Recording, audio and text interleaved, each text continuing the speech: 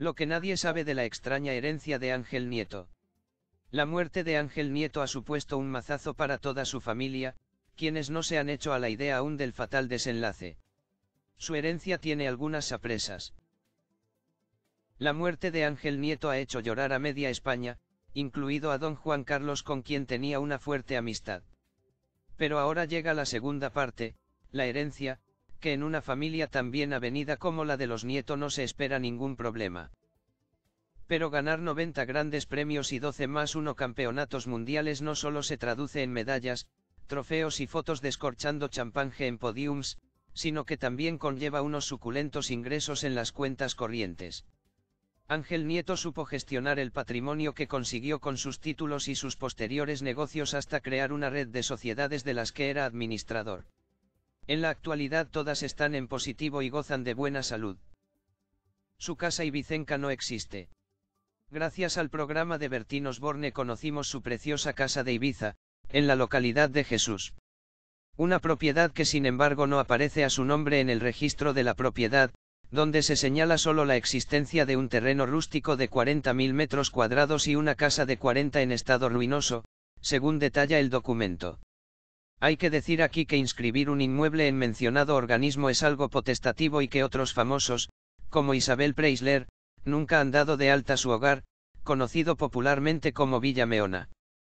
El registro también da cuenta de un gran terreno rústico en la localidad de Toro, en su Zamora natal, en las inmediaciones del camino de Molendores.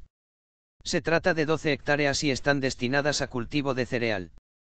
Desconocemos si, siguiendo el esquema anterior, hay algún inmueble. Tanto el terreno de Ibiza como este no tienen carga alguna. Un apartamento con su exmujer. Ángel Nieto siempre intentó tener una buena relación con la madre de sus tres hijos, Pepa Aguilar, aunque públicamente reconoció que se enamoró perdidamente de Belinda. Pero lo que no sabíamos es que todavía les unía un apartamento en Torrevieja, Alicante. La casa tiene además de Ángel y Pepa otros dos titulares más. Es un inmueble de 92 metros cuadrados con garaje y próximo al mar.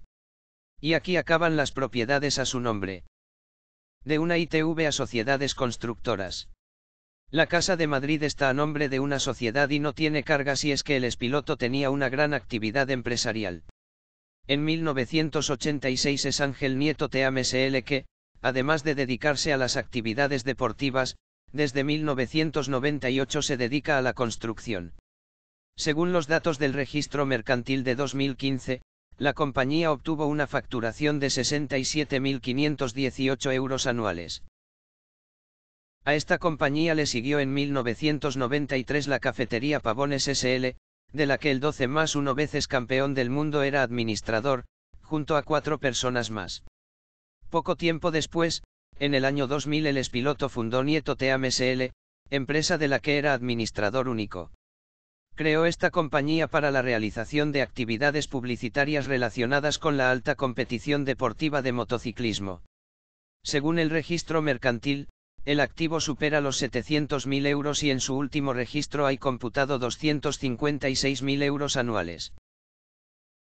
En 2004 creó Altos de Salobreña SL, una sociedad dedicada a la promoción inmobiliaria, como Escamide Viax SL a las que se le suman Duero 2006 SL, dedicada a los productos eléctricos, y la ITV Ángel Nieto de Vallecas, con 30 trabajadores y donde el espiloto creó su museo particular con sus recuerdos.